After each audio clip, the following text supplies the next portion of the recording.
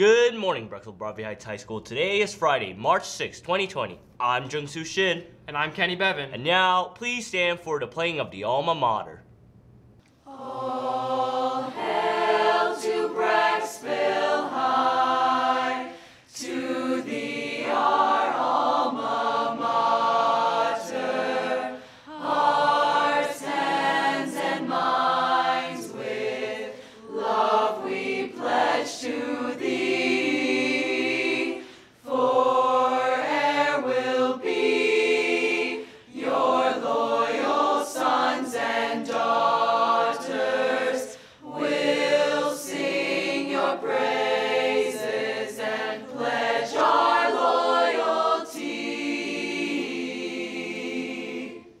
Do you have a craft or unique art that you want to sell? Want to make anywhere up to a few hundred dollars in one day?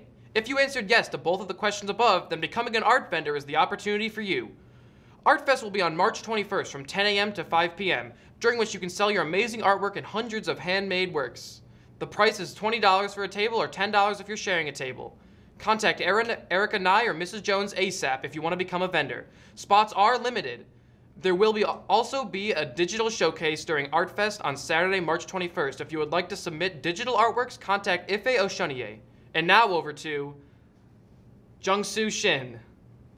Thanks, Kenny.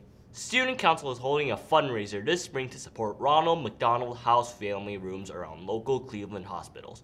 Bringing your pop can tabs into your homeroom or consider bringing single-serve microwavable foods or single-serving snacks.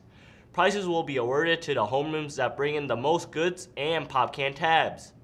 Congratulations to Austin Volweiler, our school winner of the AMC 12 math exam, and both Zach Zywick and Rohan Rangaraju for being the school winners of the AMC 10.